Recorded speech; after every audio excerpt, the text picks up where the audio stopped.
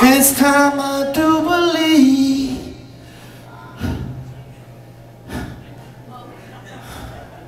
I'm gonna